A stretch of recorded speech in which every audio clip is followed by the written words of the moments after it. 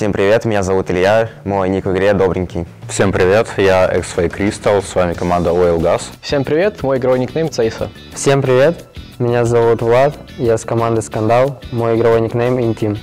Всем привет, я Тео Гост. Привет, мы команда Вечная Зима, мой никнейм Панк. А мой никнейм Вайлон. Hello, мой игровой никнейм Сомуль, и мы из команды Who Cares. Сейчас мы будем участвовать в челлендже, будем угадывать страны из игры Мир танков по их сукпекам.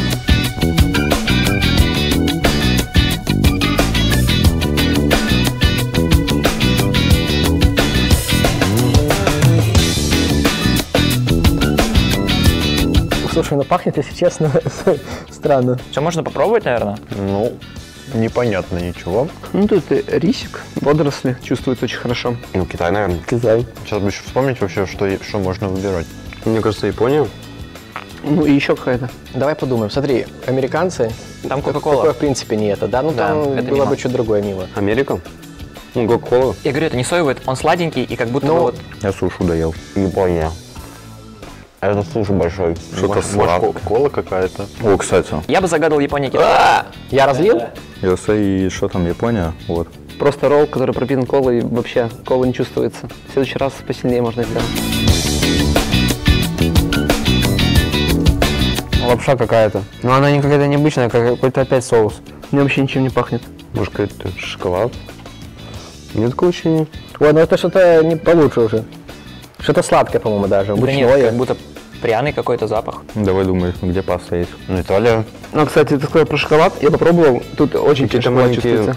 Ну, тут очевидно как Как будто будто, его да? натерли, не знаю, на макароны. Какое-то сладкое, да не? Не знаю, мне кажется, кофе. Нет, за тоже кофе чувствуется. Но я тебе говорю, это Чехия, наверное, и Италия. Да, да, 100 баллов. Франция, Италия, Италия, скорее всего. А у Франции что? Да так, я, я просто сказал. Это макароны. Но какие-то необычные макароны. Короче, мне уже на язык сразу попал шоколад. Ну, Италия 100%. Да? Италия и Германия. Тут довольно понятно. Намного проще, чем прошлая позиция. Ну да. Ну, в принципе, что, тут, намного проще. Спагетти. Это Италия и Германия, наверное. Да? Как будто какой-то пирог про- пропитали кофе еще.